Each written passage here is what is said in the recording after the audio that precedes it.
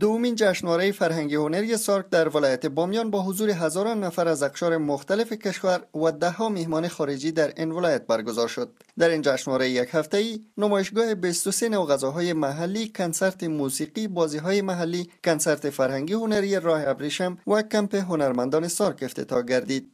در کمپ فرهنگی هنری سارک در این ولایت 50 اثر هنری خلق شده است که به صورت دوره‌ای این آثار در کشورهای جنوبی آسیا به نمایش گذاشته می شود. در این آثار نقاشی داشته های فرهنگی و مناظر طبیعی بامیان به تصویر کشیده شده است. مسئولین در بامیان نمایش این آثار را برای معرفی ساحات باستانی و مناظر طبیعی این ولایت مهم و ارزنده می خوانند. مسئولین اداره اطلاعات و فرهنگ ولایت بامیان می‌گویند که سالانه کشورهای جنوبی آسیا میزبان بیش از 2.5 میلیون گردشگر خارجی است که اگر 100 هزار آن به افغانستان و بامیان سفر نمایند تغییرات مثبتی بر زندگی روزمره مردم رونما می شود کبیر دادرس رئیس اداره اطلاعات و فرهنگ ولایت بامیان در این باره گفت ما تونستیم تا سه روز کارکرد کشورهای جنوبی آسیا 50 اثر. یا تونستن که تولید بکنه آماده بسازه. که اثرهای بسیار بالا در مجموع تمام از مناظر طبیعی و آثار باستانی بامیان. این ترسیم شده که فعلا در دسترس ما قرار داره قرار است که این آثاری که در ولایت بامیان تولید شده ایره در کشورهای جنوب آسیا به شکل دوره‌ای به نمایش بگذارد.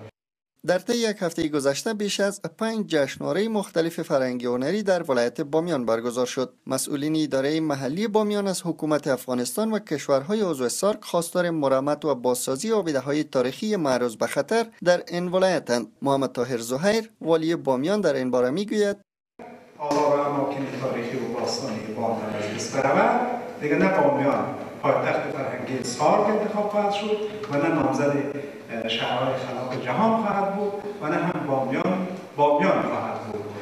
مسئولین اداره اطلاعات و فرهنگ بامیان می‌گویند که در طی یک هفته اخیر نسبت به 14 سال گذشته بیشترین سیاه داخلی و خارجی از این ولایت دیدن کردند. کبیر دادرس رئیس اداره اطلاعات و فرهنگ بامیان در این باره گفت موضوع بسیار مهم و اساسی که من متأکد هستم در طول 14 سالی که گذشت در بامیان همچون برنامه اجرا نشده بود. این برنامه بود که ما آمار ارقامی که از بخش راجستر یا همکارهای ما گرفتیم در حدودی ده هزار یک تن از نمایشگاه کمپ هنرمندان سارک دیدن کرده بود که واقعا برای ما خیلی جالب است.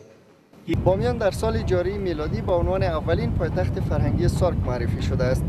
قرار است آخرین جشنواره این سازمان به تاریخ آخر ماه دسامبر سال 2015 میلادی برگزار گردد. زفر بامیانی تلویزیون آشنای صدای امریکا ولایت بامیان.